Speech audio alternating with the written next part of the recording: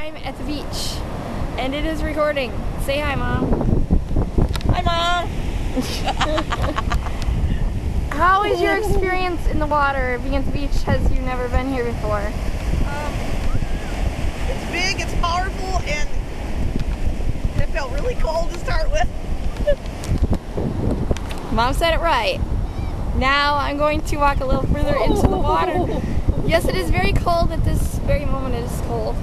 It's a beautiful day in the neighborhood. And I'm going to walk a little farther now because I've never been in here and I just want to try it. And hopefully I won't lose this camera. Following the water as it goes back. And I'm actually getting a little dizzy here walking in front of the water. It's like really odd. Here it comes. Here comes some waves. They're not very big, but they're kind of cold. Oh, it's colder when it comes Oh, up farther. Yeah, they're kind of cold there. Let's, walk, let's take a walk. I see no sign of uh, any creature life in the water. So now I'm gonna peace you out.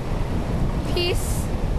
And uh, I'll try to vlog uh, about my further adventures here.